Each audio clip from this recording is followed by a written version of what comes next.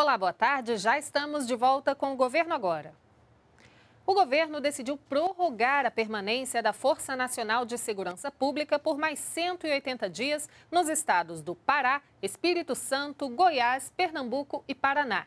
A força apoia os órgãos de segurança estaduais no policiamento ostensivo e na preservação da ordem pública e do patrimônio. Foi apresentado hoje um protocolo que vai padronizar a investigação e perícia em todo o país de casos de feminicídio.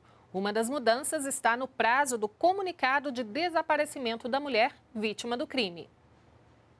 Hoje há um senso de que você deve esperar 48 horas, por exemplo, para comunicar o desaparecimento da mulher.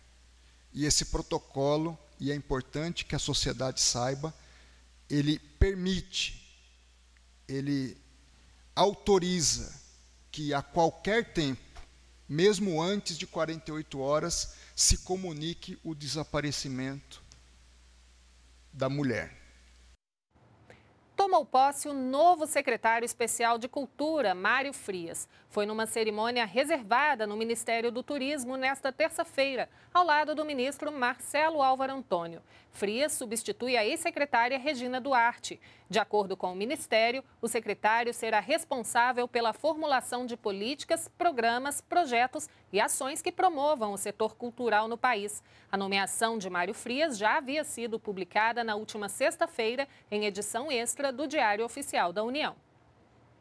Autoridades brasileiras monitoram o avanço da nuvem de gafanhotos que invadiu a Argentina e a chegada aqui no Brasil. Cláudia Boiunga tem os detalhes. O Ministério da Agricultura, Pecuária e Abastecimento está monitorando em tempo real a nuvem de gafanhotos que está próxima da fronteira do Brasil com a Argentina.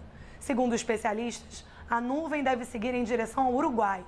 O deslocamento é influenciado pela temperatura e pela circulação de ventos. A preocupação é que eles cheguem às lavouras do Rio Grande do Sul. Por isso, o governo emitiu um alerta direcionado aos órgãos estaduais de defesa agropecuária, que podem ter que tomar medidas de controle da praga. Em caso de infestação, os insetos podem causar danos às lavouras e pastagens.